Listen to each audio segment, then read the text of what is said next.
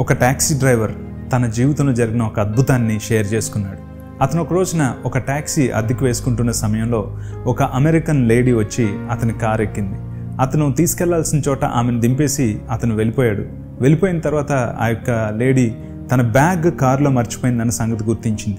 అయ్యో చాలా వాల్యుబుల్స్ ఉన్నాయి అందులో. నా యొక్క సర్టిఫికేట్స్ ఉన్నాయి డాక్యుమెంట్స్ ఉన్నాయి నా యొక్క పాస్పోర్ట్ ఉంది. అదేవిధంగా అందులో కొన్ని వేల డాలర్స్ ఉన్నాయి. ఇప్పుడు ఈ ట్యాక్సీ వాళ్ళ ఎక్కడికి వెళ్ళిపోయాడో ఏంటో అని చెప్పి చాలా బాధపడుతున్న సమయంలో ఒక అరగంటలోనే ఈ ట్యాక్సీ వాళ్ళ మరలా తిరిగి వెనక్కి వచ్చి మేడం మీరు బ్యాగ్ మర్చిపోయారు చూడండి అని ఇచ్చేశాడు. ఆమె చాలా ఆశ్చర్యపోయింది. బ్యాగ్ అన్నీ ఓపెన్ చేసి చూసుకుంది. ఏవి కూడా మిస్ అవ్వలా. అన్నీ కూడా అందులోనే ఉన్నాయి. చాలా సంతోషించింది. ఓకే మేడం అని చెప్పి ఆ వ్యక్తి వెళ్ళిపోయాడు. ఈమెకు చాలా సంతోషం వేసి ఒక ట్యాక్సీ డ్రైవర్ ఇంత నమ్మకంగా ఉన్నాడా అని చెప్పి తన దగ్గర ఉన్న ఒక వ్యక్తిని వెనకతలు ఫాలో అవ్వమని చెప్పి అతని జీవితం ఏంటి అతని ఫ్యామిలీ బ్యాక్గ్రౌండ్ ఏంటి తెలుసుకోమని చెప్పింది. వెంటనే ఆ ట్యాక్సీ వెనకాతలు ఆ వ్యక్తి వెళ్ళి అనేకమైన విషయాలు తెలుసుకొని తిరిగి ఆమెకు చెప్పాడు. అందులో ఒకటి ఏంటంటే తన ఇంటికి వెళ్ళేటప్పటికి భార్య రోగిష్టిదై మంచం మీద ఉంది. వైద్యం చేయించడానికి డబ్బులు లేక అలాగే వదిలేసిన పరిస్థితి. చిన్న పిల్లలు ముగ్గురున్నారు. వారికి కూడా స్కూల్లో చదివించే పరిస్థితి లేక ఫీజులు కట్టలేక వారు కూడా ఇంట్లోనే ఉన్నారు.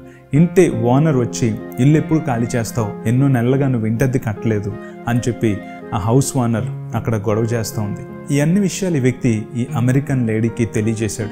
వెంటనే ఆమె ఒకవైపు ఇంటద్ది కట్టుకోలేక ఒకవైపు భార్యకి వైద్యం చేయించలేక ఒకవైపు తన బిడ్డలకు సరైన విద్యను అందించలేక నలిగిపోతున్న పరిస్థితుల్లో కూడా ఈ వ్యక్తి ఇంత నమ్మకంగా ఉన్నాడా అని చెప్పి ఆమె వెంటనే అతన్ని పిలిపించి అతని భార్యకి కార్పొరేట్ హాస్పిటల్లో వైద్యం అందించింది.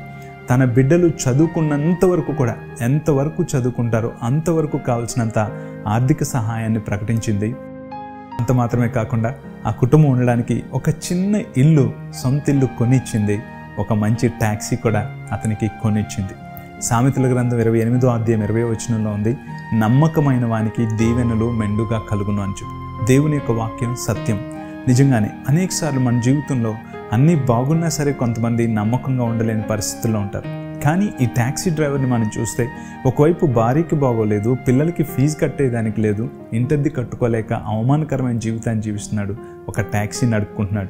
కానీ ఈ రోజున ఎప్పుడైతే అంత వ్యతిరేకతలో కూడా ఒక్క పైసా కూడా దొంగలించకుండా అతనిది కాదు అని చెప్పి ఎవరికి చందాలో వారికి చెందేటట్లు చేసినప్పుడు దేవుడు ఆమెలో కనికరాన్ని పుట్టించాడు.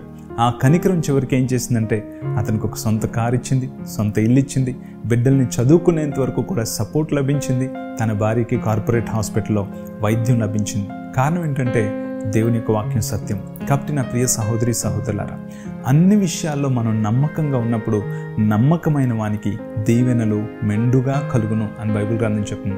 కుటుంబం కావచ్చు దేవుని సేవ కావచ్చు ఉద్యోగం కావచ్చు వ్యాపారం కావచ్చు ఏ పరిస్థితి అన్నా కావచ్చు ఒక వ్యక్తి దగ్గరైనా వ్యవస్థలోనైనా ఎక్కడన్నా సరే దేవుడు చూస్తున్నాడు అని మనం నమ్మకంగా ఉండేటప్పుడు మనకి దేవుడు ఏది కూడా కొదువు చేయడు.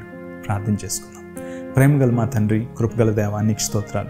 నీ మాటలే సత్యం. నమ్మకమైన వానికి దీవెనలు మెండుగా కలుగును అన్న మాటను అనుసరించి ఈరోజు నీ ఫిల్లింగ్ స్టేషన్ చూస్తున్న ప్రతి ఒక్కరితోనూ మాట్లాడేవాన్ని నీకు స్తోత్రాలు చెల్లిస్తూ ఈ రోజు నుంచి ఇంకా ఏ విషయాల్లో నమ్మకంగా ఉండాలో అవి కూడా పరీక్ష చేసుకొని నాయన నీ కొరకు నీ చిత్తానుసారంగా నీవు గుర్తించేటువంటి నమ్మకత్వాన్ని కలిగి ముందుకు సాగిపోయే కృప రోజంతా నీ సన్నిధిని తోడుగా ఉంచండి. ఏసు నామంలో అడుగుచున్నాము తండ్రి. Amen. Amen. Praise the Lord. May God bless you.